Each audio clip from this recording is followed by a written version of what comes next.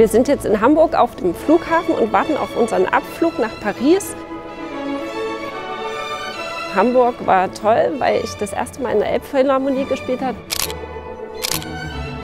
Und ein besonderer Moment war auch eine Künstlerstunde in der Elbphilharmonie mit jungen Menschen, die aus Kiel kamen. Wir haben erzählt über das, was wir machen und die waren sehr aufgeschlossen und das war eine tolle Begegnung. Ladies and gentlemen, I'd like to welcome you to Paris.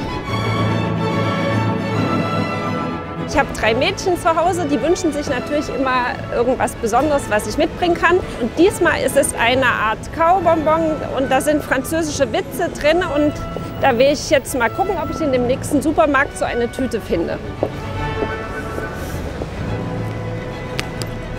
Mm, Die sind schon ein bisschen hart. Eigentlich sind die ganz weich. Eine ganz andere Perspektive, als wenn man aus dem Bus steigt und nur in den Eingang kommt.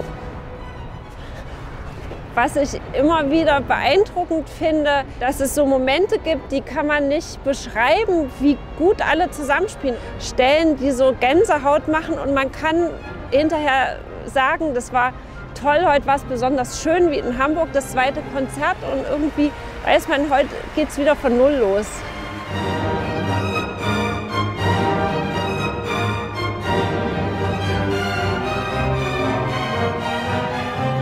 Dieses Offene, dass man eigentlich immer das Gleiche macht, man spielt die gleichen Stücke und jedes Mal wird es wieder neu entdeckt und das lässt es nicht langweilig werden.